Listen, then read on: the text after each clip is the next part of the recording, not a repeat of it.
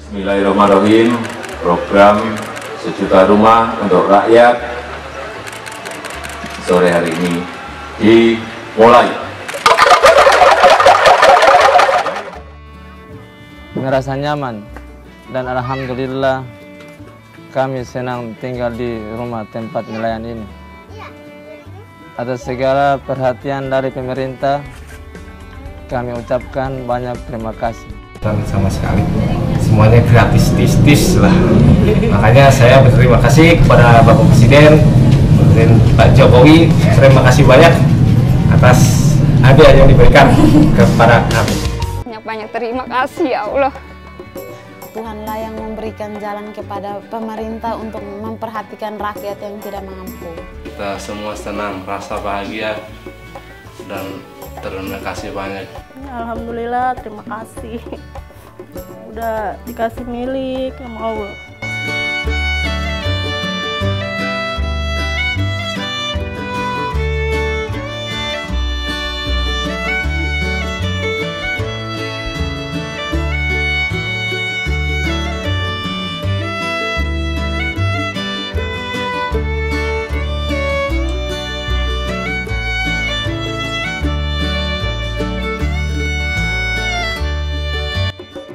Dulu tidurnya di musola. Sama kalau di kampungnya nggak punya apa-apa di sini nggak punya. Tidurnya di mana-mana tempat. Dulu murah kontrakan sekarang mahal. Kalau yang punya rumah memang udah kerjanya udah kerja keras harus berjuang nyumbani anak bojo. Dulu ada rumah saya rombeng, ini bilik kagak udah pada bolong. Jadi rumah-rumah yang gak layak huni berayakan dengan BSPS rumah swadaya sistemnya gitu.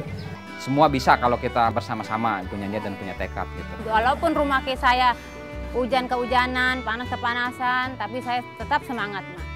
bersyukur karena penghasilan di laut juga nggak seberapa. Kadang dapat kadang kagak. Ya kan kita boro-boro buat bikin rumah ini. Ya tawaran itu ya saya modalnya ya nekat aja. Jadi itulah yang bagusnya bantuan ini. Nggak berupa uang karena berupa barang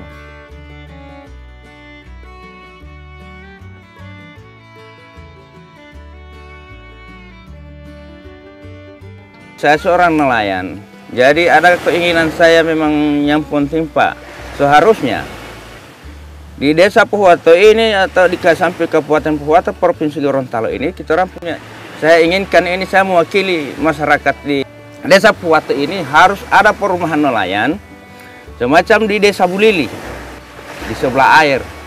Jadi cuma itu keinginan saya ini di mewakili ini masyarakat sini Pak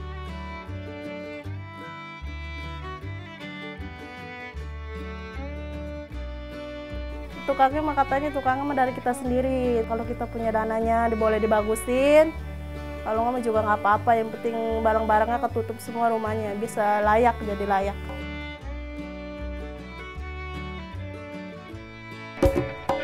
Kita tinggal di rumah alang-alang. Lantainya juga lantai tanah, kita susah. Keluarga tidak mampu, tidak bisa untuk membuat rumah. Dua tiga kepala keluarga dalam satu rumah diberikan peluang untuk tinggal di, di rumah ini. Semangatnya luar biasa. Tidak dikasih keluar uang satu sen pun bisa tinggal di rumah yang bagus ini. Rumah ini kami tinggal untuk selama-lamanya tetapi tidak boleh dijual. Ini persyaratan yang diberikan oleh pemerintah.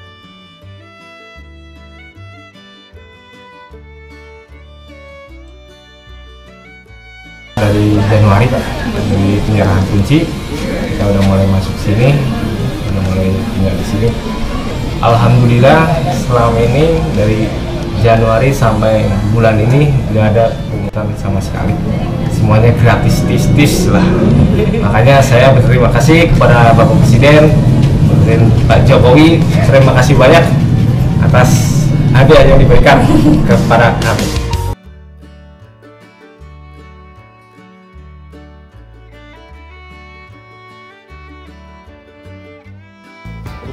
itu diperlukan untuk kita-kita menengah ke bawah bagi yang nggak punya rumah. Sewanya bulanan. Dan kalau kontrakan dia tahunan kan sekali tahun sekian juta, soalnya kan agak ringan lah. Saya hitung-hitung lebih murah sini nyicil nabung pak siapa tahu besok bisa bisa beli rumah gitu.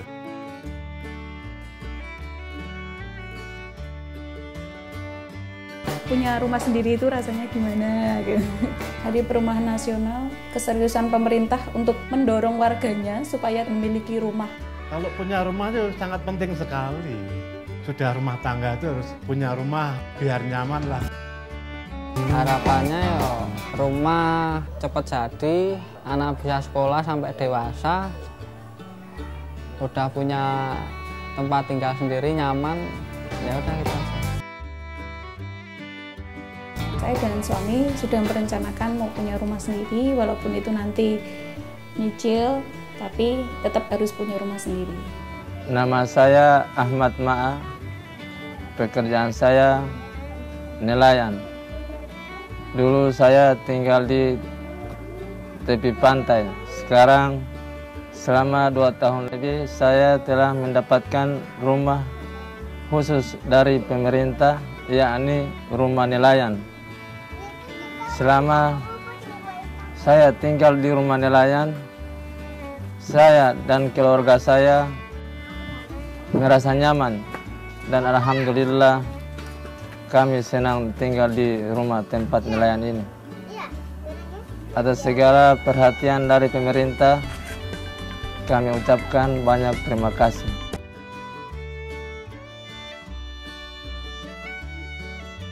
Bukan hanya gedungnya tapi sekolah pun sekarang sudah maju akreditasi pun sekarang sudah maju. Jadi sebagai alumni saya benar-benar bangga sebagai santri saya benar-benar senang. Kenyamanan kesehatan ketenangan tenteraman itu ada.